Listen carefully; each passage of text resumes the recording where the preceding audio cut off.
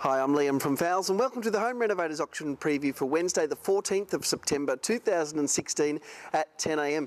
Well, very comfortable here on this beautiful uh, outdoor sun lounger. Uh, it's complete with the, uh, the, the rattan um, finish as well as the the, the, the, visor there. I reckon it's going to sell for probably around that $450, $500 mark, so it'll be a good bargain for somebody there. Okay, moving through now, let's have a look. We've got a heap of lighting I want to have a look at. Uh, on the way through, we'll have a look. There's some blinds there. They've been super popular. There's cedar blinds there.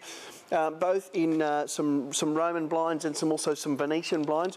Really nice buying there, uh, around a third of what you'd pay in the shops. Then moving through here, have a look at all of this. Uh, this is a fantastic load of designer lights. Uh, I noticed lot 35 there.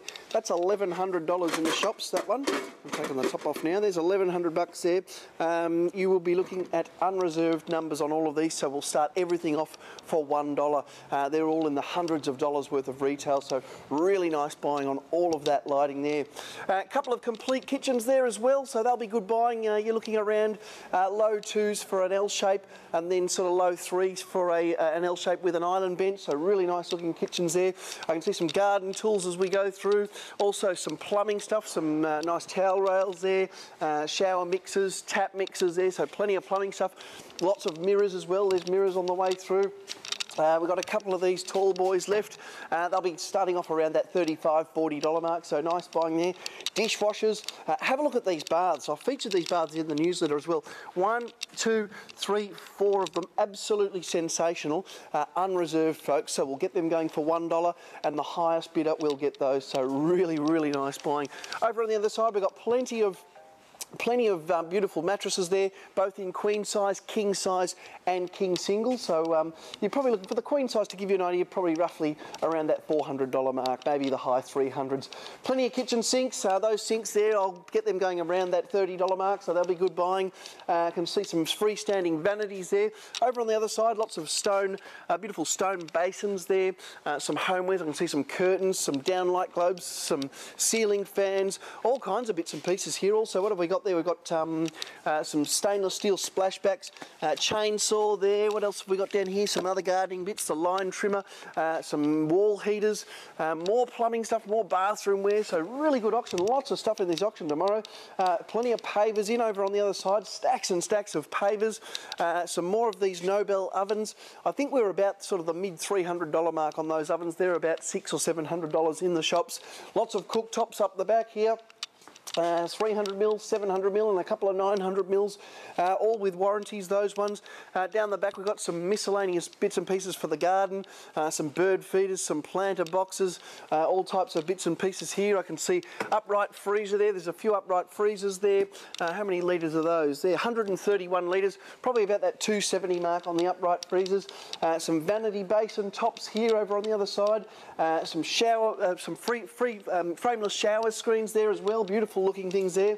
Uh, quite a few Franke sinks in tomorrow. Uh, we generally get these going at $200 a shot, so really nice buying on the Franke sinks um, with the tap, with the Franke wastes, so uh, huge savings to be made there. Also Franke black sink, one of them I think, one or two, looks like just the one.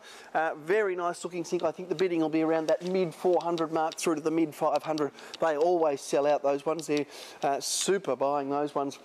Okay, moving along, we'll have a look. There's some more lighting here. Uh, all sorts of bits and pieces of the lighting. This is an interesting one. Um, I'd say there'd be at least 40 lots of lighting tomorrow. So if you're looking for some lighting or you know someone who does, make sure they get down tomorrow. A heap of different toilet suites ranging from about $50 through to about the $220 mark on those.